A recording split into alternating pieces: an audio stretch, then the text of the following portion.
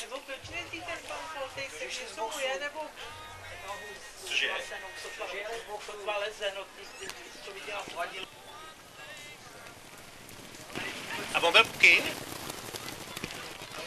No a mezi tím omlouváme se za technické problémy. Byl odstartován handicap Nutyhorse dostih eh, amatérů a žáků. Trošku nám teď eh, zablbla technika, nicméně už jsme v dostihu Derniera, Johannes Kepler, Ange Beauty, Valmontone a Lavigne na prvních pozicích.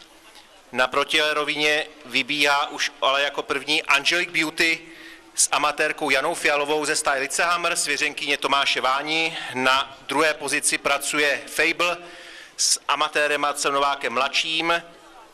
V blízkém druhém sledu Derniera, respektive Valmontone, kolem pátého místa také Sangodenzo s Jindřichem Fabrisem, následovaný Johannesem Keplerem, naše Luciánem a na poslední místo tam odpadl, myslím si, že to byl právě Lucián, ne, Lucián je třetí od konce, takže na posledním místě tam aktuálně Derniera. Každopádně koně se dostávají do cílové roviny za vedení Angelic Beauty a zvenčí atakuje teď Valmontone s Marcelem Altenburgerem a Valmontone se dotahuje na Angelic Beauty. Třetí Fable podél bariéry a zvenčí Sangodenzo.